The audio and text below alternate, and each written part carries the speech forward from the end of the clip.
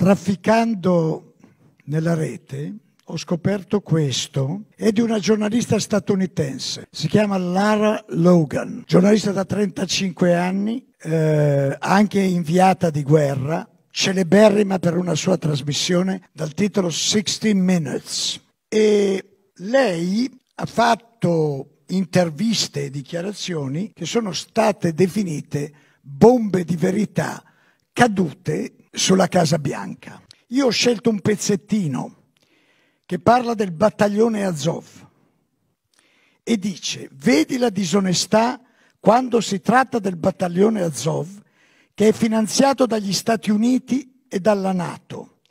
Puoi trovare le loro foto online con in mano la bandiera della Nato e la svastica. E allo stesso tempo indossano un emblema che contiene il sole nero dell'occulto, che era un emblema delle SS naziste e contiene anche simboli come il lampo delle SS. Questo è presente in tutto l'esercito ucraino. Puoi vedere quel sole nero dell'occulto sui loro giubbotti antiproiettile, perfino sulle divise delle soldatesse fatte sfilare davanti al mondo come esempio dell'indipendenza, dello spirito della nobiltà ucraina. La Casa Bianca vuole che tu creda che questo non ha importanza, che è solo un piccolo numero di soldati. Non è vero. Il battaglione Azov si è fatto strada uccidendo nell'Ucraina orientale. Non vogliamo ammetterlo. Questo è il motivo per cui la Crimea ha votato per l'indipendenza. Questo è il motivo per cui ha voluto stare con la Russia. Perché noi dei media e in Occidente non riconosciamo la realtà di ciò che sta succedendo.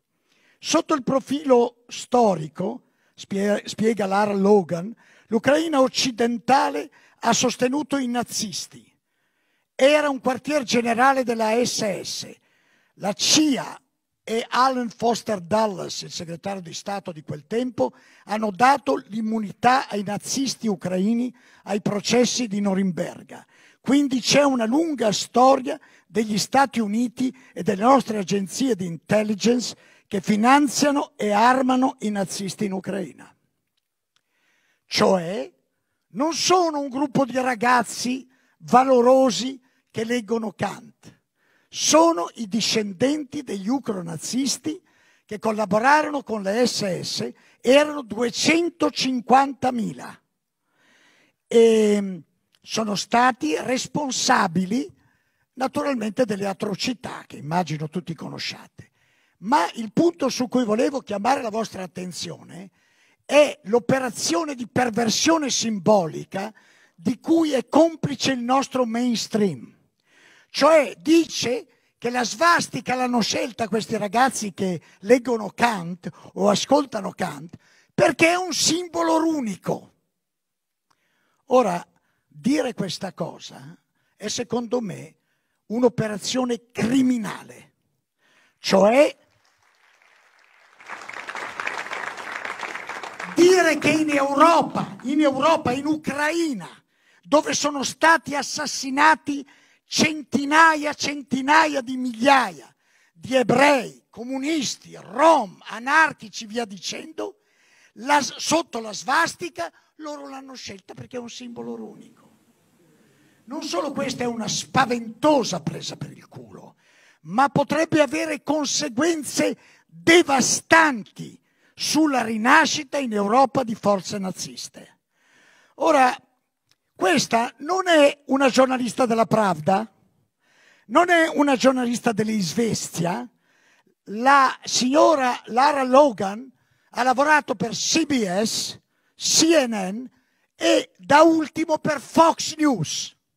Solo che questo è un esempio di quello che è il giornalismo anglosassone, mentre i nostri non tutti, con le debite eccezioni, però giornalisti non sono più, sono semplicemente velinari su ordine del governo degli Stati Uniti d'America. E da ultimo, e da ultimo vi voglio dire questa cosa. Eh, di questi fatti, svastiche esibite e mistica perché hanno anche il cerchio nero magico, che era delle SS, guarda, guarda, le autorità delle comunità ebraiche internazionali non hanno detto niente. Però quando io difendo i diritti dei palestinesi, mi dicono che sono un ebreo antisemita.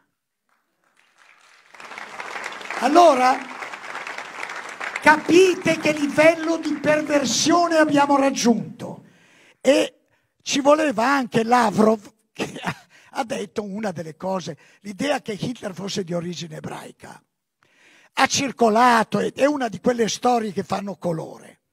Io non so se fosse di origine ebraica, ma prima di tutto un ebreo, un uomo, ci può essere anche un ebreo, faccio un nome a caso, Zelensky, che pur sapendo queste cose fa finta di niente perché evidentemente gli conviene altro. E adesso vi dico una cosa, c'è un libro, potete leggerlo, è un Newton Compton che racconta gli ebrei, magari erano Mischling, un nonno ebreo, due nonni ebrei, hanno combattuto nella Wehrmacht e c'erano anche ebrei che erano negli alti ranghi, eh, sospettati di origine ebraica. Per esempio il vice di Göring, e persino era sospettato di avere un nonno, un bisnonno ebreo, Rainer Heydrich, quello che si è inventato la soluzione finale. Per cui basta retorica, basta bugie sanguinose e basta, come dire, prenderci per dei deficienti che ci dobbiamo vergognare. L'Occidente pianifica i propri interessi con un cinismo senza limiti. Oggi ero in una trasmissione e ho fatto notare una piccola cosa, che da decenni un membro della Nato, la Turchia, macella il popolo curdo. Anche adesso. Sapete cosa ha detto una giornalista molto sussiegosa di Repubblica? ha detto ma concentriamoci sul presente. Allora io dico, come ebreo lo dico, allora perché spacchiamo il cazzo al mondo con i morti della Shoah? Ciao.